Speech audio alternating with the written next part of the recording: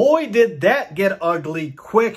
What is going on, y'all? Faiz Sports Talk back at it with another video talking, of course, some NBA. Here to talk about the NBA Finals and talking about game one of the NBA Finals, which uh, was absolutely dominated by the LA Lakers, who won 116 to 98 over the Miami Heat. So here to break down game one of the NBA Finals. I'll be breaking down every single game of the NBA Finals. So make sure you guys, if you are not already subscribed to the channel, that you do subscribe and that you do turn on the post notifications and that you do follow me on my social media links down below and on the screen for that. I'll, I also live tweet during the finals, so that's why you should probably follow me on there. But essentially, I got a lot to say. I, I got a lot to say, folks. So uh, let's talk about this uh, because this this got ugly quick, like I mentioned.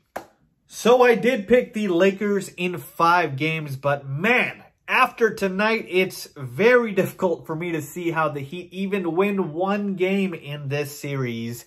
Uh, so you might want to bring out the brooms, folks, because this could be a sweep. And it's funny that I'm saying that because I'm actually the last guy that likes to overreact to one game, you know, that likes to be prisoner of the moment. No, I don't like to do that. But there are exceptions to everything in life, and this is one of those exceptions because here's the thing. Not only did the Lakers dominate in game one, but the Heat also lost some significant players, all right? I hate injuries. I wish they never existed, but they're a part of life. And here we are with the Miami Heat, who lost Goran Dragic in the second half.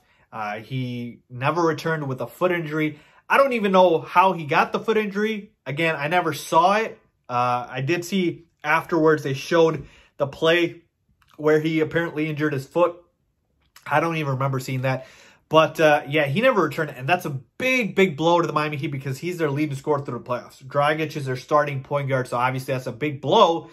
But not only the fact that he was out this game, but he could potentially be out the entire series. We don't know how bad the injury is, but from everything I'm reading online, it's not good.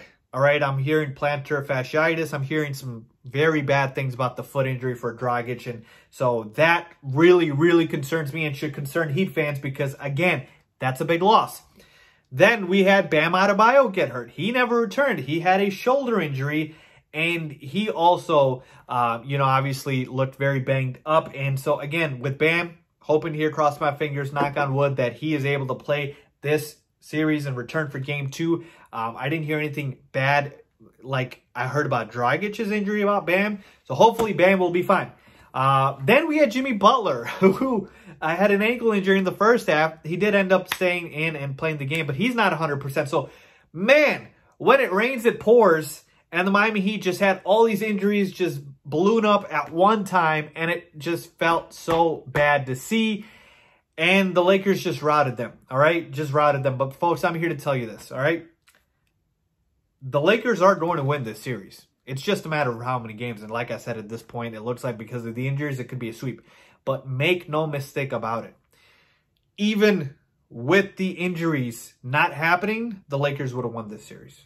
So I don't want to hear the excuses after the Lakers do win this series that Miami was banged up or Miami was injured. Yeah, they were injured and banged up, and they potentially could have won one or maybe two games. But this was not going to change the series outcome. You saw in the game today, nobody on the Heat can guard Anthony Davis. Not a single person. He's too big. He is too good. All right. Nobody on the Heat is able to match up with the size of the Lakers. Bam Adebayo uh, is the biggest guy in the Heat, and it looked like he was mismatched. All right? We're talking about LeBron, AD, Dwight Howard, and they didn't even play JaVale McGee, or at least I don't remember him playing. Um, it's They're too big. And, and we just take a look at the numbers right here, right? Rebounding was 54 rebounds for the Lakers to 36 for the Heat. It's too much. Like Heat are Heat are too small. It's a mismatch here. They need size. They don't have it. All right. So the Lakers dominated. We saw AD 34 points, nine rebounds, five assists, three blocks. I mean, he is a top five player. We know this. All right. LeBron James. What more is there to say? 23 points, 13 rebounds, uh, nine nine assists. Uh, and then here's the thing, AD and LeBron, we know that's what they do. So that didn't really surprise me. But what did surprise me is the contributions from the bench. Kentavious Caldwell Pope, KCP with 13 points. Danny Green with 11 points. Alex Caruso with 10 points. When you get these contributions from the bench that you don't really expect as much, that just makes the Lakers a completely different team. Now you go from to beating a team to blowing them out. Like literally like blowing the doors off the team. So to me, um, again, at this point, um, you know, we all should expect the Lakers to win this series. Uh, but now it's just a matter of you know how many games, and and it looks like it's going to be sweep. I mean, for the for the Heat, uh, Jimmy Butler was the only guy who's you know had any significance of a game here. Twenty three points for him, and now it looks like Tyler Herro is really going to have to step up with no Goran Dragic. Again, we don't know the status of Bam Adebayo, but hopefully he's okay.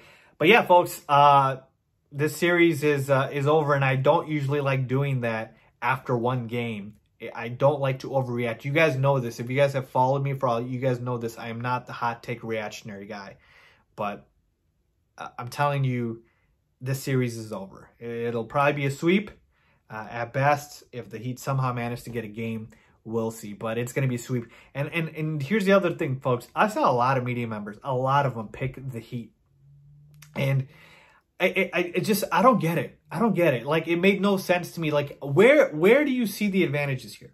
Like I don't I don't understand. Maybe they just hate LeBron James. Um, I think that's it. I think a lot of people just don't like LeBron James for some odd reason. A lot of these media members don't. I saw, you know, uh, Chris Sheridan, uh, Nick Friedell, um, you know, a lot of these guys pick Rob Parker, pick against uh, the Lakers, and I, I, never quite understood it. So again, folks, like I said, uh, I'll be here throughout the NBA Finals giving a recap. But uh, yeah, game one showed you this isn't really going to be close.